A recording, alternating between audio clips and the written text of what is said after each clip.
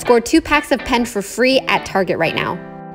BiC pen come in a pack of 10 are $1.49. We have a 50 cents off digital coupon inside the Target app and a $3.50 off to cashback inside Ibotta, ending in a few days.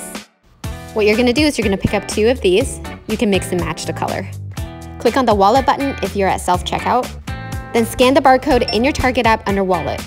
Then you'll see the coupon come off your total before you pay. If the coupon ever not come off, just let the associate know and they'll help you. So you pay $248 and then you're gonna submit to Ibotta for $3.50 cash back to make it free plus a dollar money maker. Okay, so first you're gonna find the offer inside Ibotta and check it off. Click on redeem in the bottom and click on target. Then it's gonna ask you to submit a receipt. Now take a picture of your receipt. It'll ask you to scan the barcode to verify your purchase. So do this twice. And then that's it, you are all done. Free plus a dollar money maker. You can cash out on Ibotta when you reach $20.